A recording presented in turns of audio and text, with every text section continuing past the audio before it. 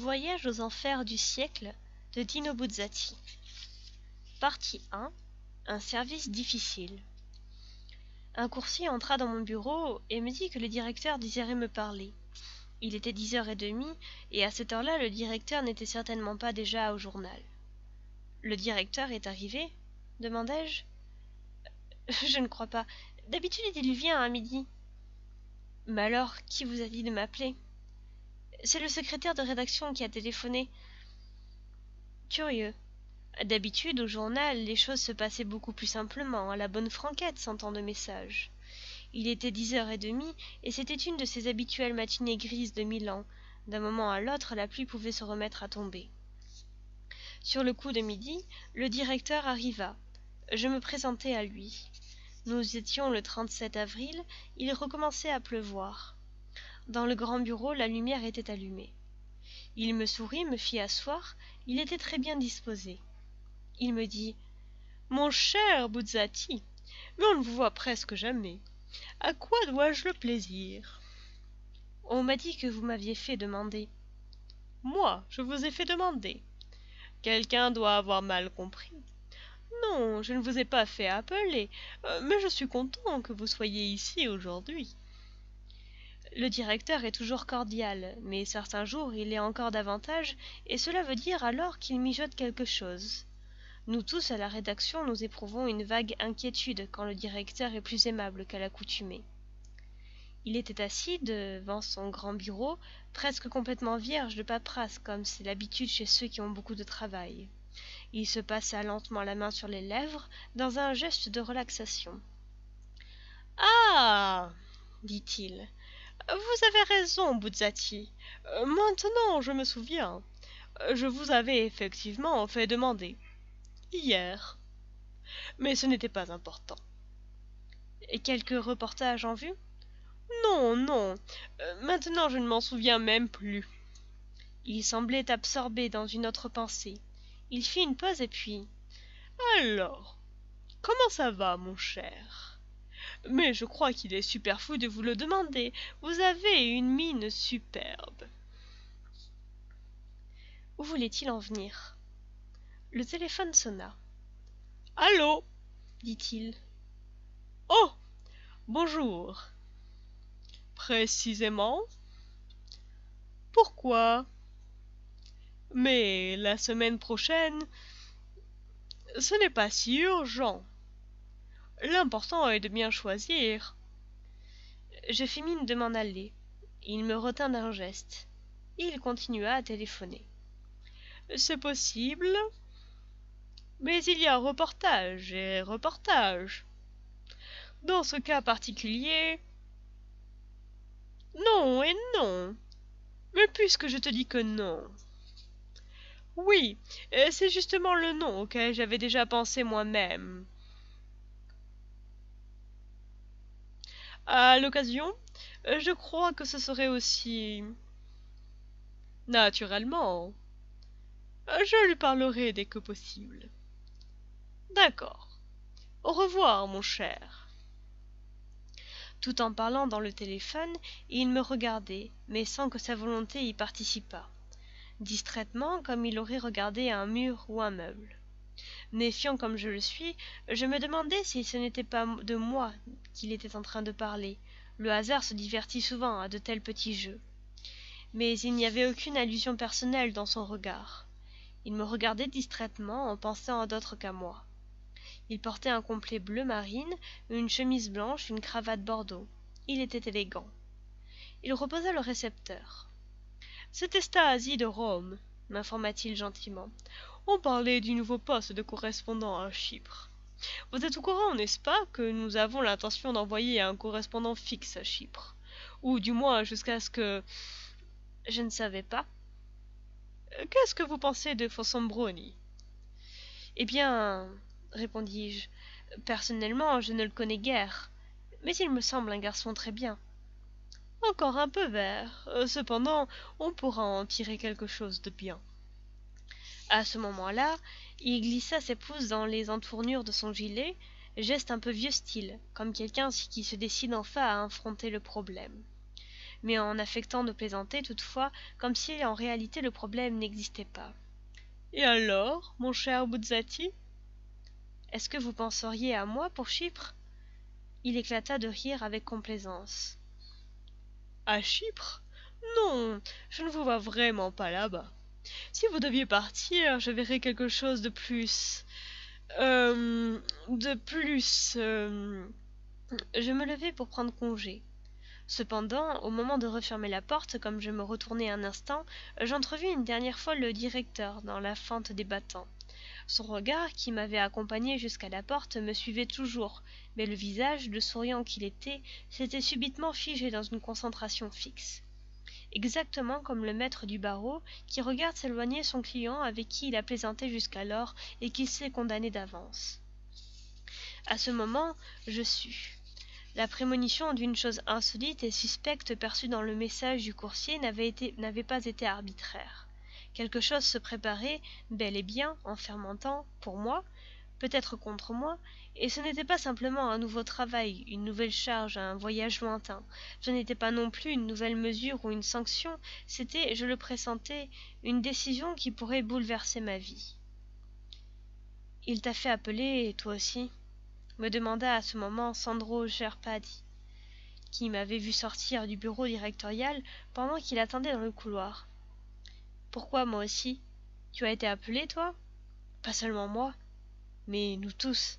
Gelfi, Diamani, Pospichil, Armerini. Il ne manquait plus que toi. Qu'est-ce qui se passe? Oh, il doit y avoir une histoire dans l'air, et plutôt mystérieuse. Pourquoi? Bon, il y a une espèce de fièvre ici, comme au moment de. La porte du directeur s'ouvrit. Il parut sur le seuil et en silence nous regarda. Ciao, cher Paddy, dis-je à mon collègue, et je le quittai. Ciao. Je hâtai le pas, descendis le grand escalier et j'allais, quand d'en haut, une voix. Monsieur Buzzati Je me retournai. La voix, mais je ne voyais pas qui c'était. Le directeur Monsieur le directeur, monsieur, monsieur le directeur voudrait vous voir? Il y eut un bruit sourd dans la profondeur délicate et dolente de mon moi le plus profond. Je sentis que la main velue du destin m'effleurait. Descendant les escaliers, dans mon dos, un pas précipité et rythmé, au ce pas, je le savais depuis que j'étais enfant, qu'il m'aurait rejoint et exposé en danger. Il dit Le directeur veut vous voir. Il était assis à son grand bureau directorial, et il me regardait dans les yeux. Il dit Buzzati, il y a une chose. Un reportage? Où? Il se peut que. Il se tut, croisa ses doigts comme pour un moment difficile et important. Moi, j'attendais. Il se peut que. Je ne me fais pas d'illusions, non. Mais. Remarquez que j'en doute fort moi-même. L'occasion se présente peut-être. De quoi? Il se cala dans son fauteuil, puis décidé se lança. Euh, mon cher Buzzati, est-ce que par hasard vous ne voudriez pas faire une belle enquête sur les travaux du métropolitain? Politain? Fis-je en écho ahuri Il alluma une cigarette après m'en avoir offert une. Lors des travaux du métropolitain, dit-il, on aurait découvert un ouvrier, un certain Torianin, par hasard au cours des forages euh, du côté de Saint-Pione. Eh bien, en somme. Je le regardais et commençais à être effrayé. Je demandai. Et qu'est-ce que je devrais faire? Il continua. Euh, par hasard, euh, pendant qu'il creusait, il dit qu'il a trouvé. qu'il a trouvé par hasard. Il semblait hésiter, embarrassé. Par hasard l'encourageai-je? Trouvé par hasard il me fixa terriblement moi-même j'ai peine à le croire monsieur le directeur dites-moi je n'en pouvais plus la porte de l'enfer. Il dit qu'il a trouvé une espèce de petite porte. On raconte que des hommes costauds et très forts placés en face de ce qu'ils ont désiré le plus fortement au cours de leur existence quand cela se présente se mettent à trembler et deviennent de pitoyables créatures affolées et indécises. Et pourtant je demandai Et on peut y entrer? Il paraît que oui. L'enfer. L'enfer. Les enfers Les enfers. Il y eut un silence. Et moi? Ce n'est qu'une proposition, une simple suggestion. Je me rendrai bien compte. Personne d'autre n'est au courant Personne. Mais nous, comment l'avons-nous su? Par hasard. La femme de ce Toriani est la fille d'un de nos vieux expéditeurs. Et il était seul quand il a fait cette découverte? Non, il y en avait un autre. Et l'autre n'a pas parlé? Sûrement pas. Pourquoi? Parce qu'il est entré pour fureter par curiosité, et qu'il n'est pas revenu. Et moi je devrais... Je le répète, il ne s'agit que d'une simple suggestion. En fin de compte, est-ce que vous n'êtes pas un peu spécialiste de ce genre d'affaires? Et tout seul Cela vaut mieux. Euh, tout seul, vous vous ferez moins remarquer. Il faut se débrouiller. Il n'existe pas de laisser passer. Et notre journal n'a aucune relation là-bas. Que nous sachions à quoi nous en tenir, au moins. Pas de Virgile? Non. Mais là-bas, comment comprendront-ils que je ne suis qu'un simple touriste? Il faudra vous débrouiller. Euh, ce Toriani dit... Euh, lui, il a juste jeté un coup d'œil de l'autre côté. Il dit qu'à première vue, tout est comme chez nous. Les êtres sont en chair et en os, euh, pas du tout comme ceux de Dante. Habillés comme nous. Et il dit que c'est une ville comme les nôtres, avec lumière électrique et automobile, en sorte qu'il doit être assez facile de s'y glisser, de se confondre au milieu des autres, mais par contre, il sera peut-être difficile de se faire reconnaître comme étranger. Alors, dites-moi, devrais-je me laisser rôtir? Sottise Qui parle encore de feu dans les enfers? Non, je vous le répète, en apparence tout est comme ici, y compris les maisons, les bars, les cinémas, les boutiques. C'est vraiment le cas de dire que le diable n'est pas si. Et. et le camarade de Soriani? Alors, pourquoi n'est-il pas revenu? Qui sait? Il s'est peut-être perdu. Il n'a peut-être plus retrouvé son chemin pour rentrer. Il peut aussi s'être trouvé si bien. Une autre chose encore. Pourquoi justement à Milan et pas dans le reste du monde? Là, je vous arrête. Ce n'est pas vrai. Il paraît au contraire qu'il y a plusieurs de ces petites portes, oui, plusieurs dans chaque ville. Seulement, personne ne les connaît, ou personne n'en parle. Quoi qu'il en soit, vous devez admettre que journalistiquement parlant, ce serait une affaire sensationnelle. Journalistiquement Mais qui nous croira? Il faudrait se renseigner, rapporter au moins des photographies. Je haletai je me rendais compte que la fameuse porte était en train de s'ouvrir. Je ne pouvais décemment pas refuser, cela aurait été une ignoble désertion. Mais j'avais peur. Écoutez, n'anticipons pas. Moi non plus, je ne suis pas entièrement persuadé. Il y a pas mal de points obscurs dans cette histoire à part son invraisemblance générale. Pourquoi n'iriez-vous pas voir ce Toriani Il me tendit un bout de papier. C'était son adresse. Partie 2 Les secrets du MM Et c'est ainsi que j'allais chez ce Toriani, qui travaillait au forage du métropolitain milanais et qui avait découvert par hasard dans les souterrains une petite porte communiquant avec l'enfer. Comme me l'avait dit le directeur, la femme de ce Toriani était la fille d'un jeune expéditeur de notre journal. Je connaissais donc l'adresse. Ce Fulvio Toriani habitait dans un immeuble qui donnait sur une voie privée, rue San Remo 32, du côté de la porte Vittoria, avec sa femme et ses deux enfants. C'est lui qui va m'ouvrir. Je vous en prie, entrez, monsieur le professeur, dit-il en montrant la porte de la salle de séjour. Mais je crains que. Je ne suis pas professeur, dis-je. Excusez-moi de vous déranger. On m'a chargé de. Il était plutôt grand et costaud, environ quarante ans complet grisaille chemise blanche mains maigres et soignées une règle à calcul dépassait de la poche de son veston ce type-là un ouvrier en fait il n'était pas ouvrier mais expert géomètre attaché à l'une des entreprises chargées d'effectuer les forages.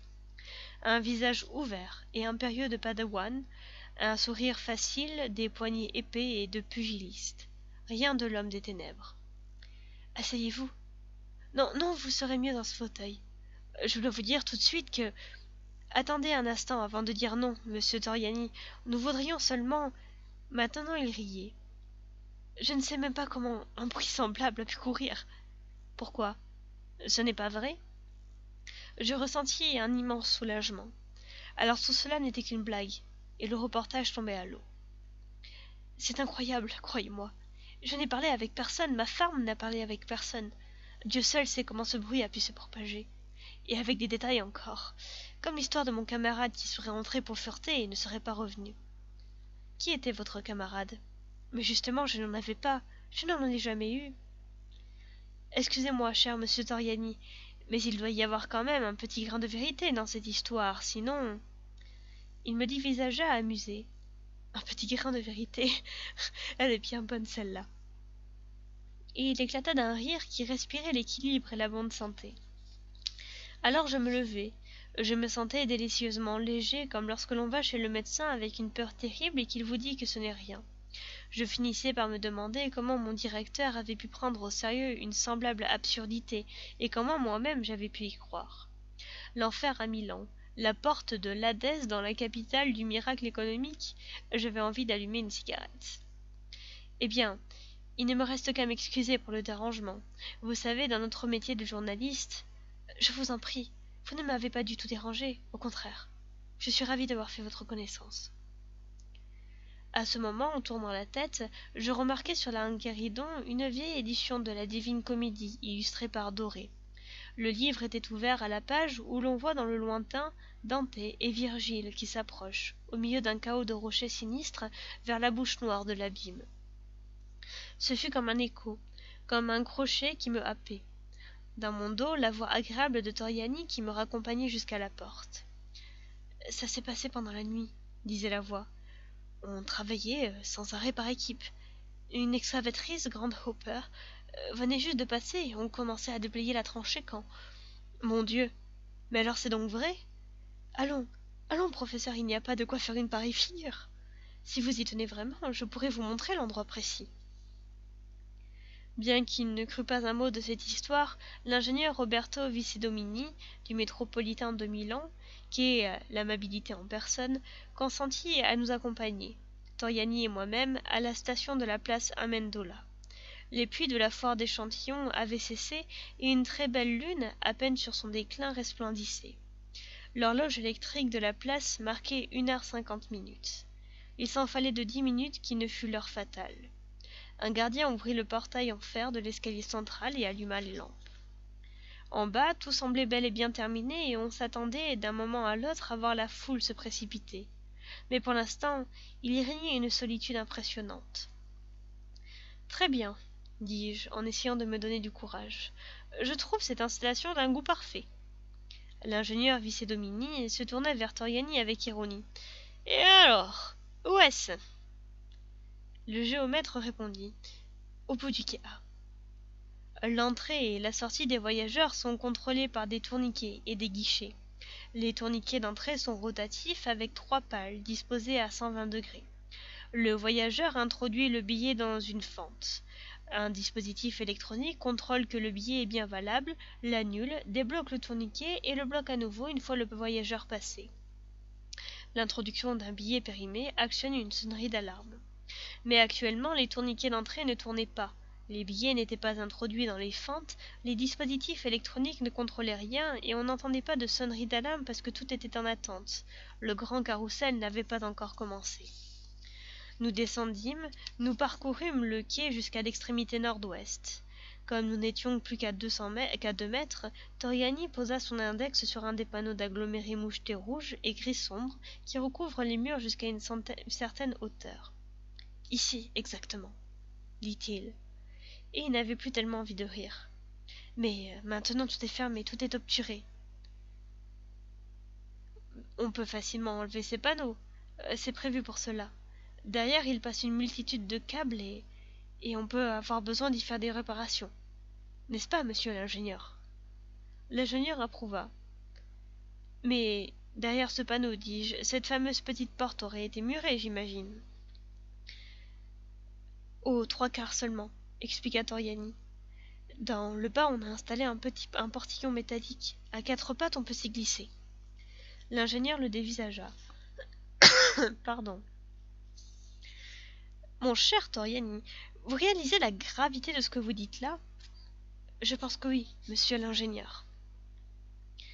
Un silence sépulcral et une immobilité absolue régnaient dans la station flambant neuve. Seul un mystérieux ronronnement provenait par intermittence de la profondeur obscure des tunnels.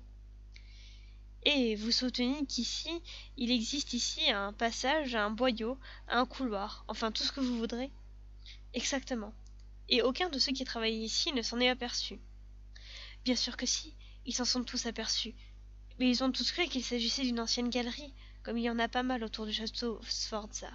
Moi, au contraire, je suis entré pour voir. Euh, vous tout seul? Oui, d'autant plus qu'au bout de deux mètres, un éboulement avait presque complètement obturé le passage et ce n'était pas facile de passer. Et de l'autre côté demanda l'ingénieur plus sceptique que jamais. À l'extrémité de chaque quai, du côté de l'arrivée des trains, il y avait deux caméras de télévision aux distances focales différentes. L'une permettait de voir tout le quai, la seconde agrandissait la partie la plus éloignée. Le choix entre les deux caméras est fait selon la nécessité par le chef de station qui a deux écrans devant lui, une pour chaque quai. Mais en ce moment, le chef de station n'est pas en train de choisir entre les deux distances focales. Parce qu'il n'y avait pas de chef de station, il n'y avait pas de cohue de voyageurs. Des voyageurs, il n'y en avait qu'un, qui se préparait pour partir pour un voyage trop lointain. Après avoir fait une vingtaine de mètres, dit Oriani, j'ai vu dans le fond un peu de lumière. Il y avait un petit escalier étroit qui montait. Et vous êtes monté? Oui, monsieur. Et vous vous êtes retrouvé où? En pleine foire aux échantillons? Non, dans une rue que je n'avais jamais vue, encombrée de voitures, immobile un tel embouteillage qu'elle n'avançait plus. Euh, sur les trottoirs, la foule allait et venait comme si... Vous savez les fourmis quand on a donné un coup de pied dans leur fourmilière Et c'est tout ça, votre enfer C'est tout bonnement une rue du voisinage que vous n'avez connaissiez pas. Impossible. Et puis voyez-vous, monsieur, quand je me suis glissé dans le boyau, il était deux heures du matin, et de l'autre côté là-bas il faisait grand jour et quand je suis retourné sur mes pas, dix minutes plus tard au grand maximum, j'ai retrouvé la nuit. Alors si ce n'est pas l'enfer. Et si c'était le purgatoire? Est-ce que ça sentait le soufre? Avez-vous vu des flammes? Pas la moindre femme. Flamme. Le feu se trouvait plutôt dans les yeux de ces malheureux. L'ingénieur maintenant semblait offensé, comme si l'autre se payait sa tête. Ça suffit maintenant. Voyons plutôt ce portillon. Dépêchons-nous, mon cher Toriani, notre Buzzati attend avec impatience de suivre vos traces. Toriani se dirigea vers l'escalier d'accès. Anselmo rugit-il d'une voix de taureau, et les cavités en souterraines se répercutèrent, son appel en écho caverneux. Un type en bleu avec une sacoche de cuir en bandoulière apparut immédiatement là-haut. Toriani lui fit signe. Celui-là était un ouvrier. Il manipula le panneau sur les côtés, et le panneau bougea, s'ouvrant comme un petit pont-levis. Les viscères apparurent, tout en tout en embrouillamini de câbles gainés de rouge, de jaune, de noir, de blanc, selon les circuits. Voilà, fit Toriani en montrant un portillon de fer à ras du sol, de forme circulaire avec une charnière en haut et trois écrous en saillie fixés par trois boulons comme les hublots des navires. Mais Ceci n'est qu'un banal pertuis de contrôle pour les égouts s'écria l'ingénieur. Allons, Toyani, faites ouvrir et vous entendrez le bruit de l'eau. Et Dieu sait quelle puanteur L'ouvrier dévissa les trois boulons et souleva la plaque. Nous nous penchâmes. Là-dedans, il faisait complètement noir. Ce n'est pas le bruit de l'eau qu'on entend, dis-je. Je pense bien que ce n'est pas de l'eau, fit Toriani satisfait. L'ingénieur murmura quelque chose et se retira. Confusion, embarras, peur peut-être. De quoi était composé le son qui provenait des profondeurs du boyau? Que signifiait ce terrible bruit? Dans ce cœur incohérent et fou il me semblait distinguer de temps en temps des cris et des paroles humaines à peine perceptibles. pour une confession fulgurante en deux trois secondes désespérées après une longue vie de péché à l'arrivée inopinée de la mort? Ou bien était-ce le rugissement des voitures ou leurs sanglots ou la lamentation et le miséraire des vieilles mécaniques accidentées et malmenées de l'homme? Une cataracte d'horribles choses massives et dures qui dans un déferlement sauvage dégringolaient en écrasant d'autres choses qui elles étaient fragiles et souffrantes. Non n'y allez pas me dit l'ingénieur dans un filet de voix. Bah désormais j'avais endossé le bleu empoigné la torche électrique je m'agenouillai adieu professeur dit oriani avec un bon sourire. Excusez-moi c'est peut-être ma faute. J'aurais peut-être dû me taire. Je glissai la tête dans le pertuis et j'avançai en rampant. Le cœur lointain devint un grondement là-bas dans le fond un filet de lumière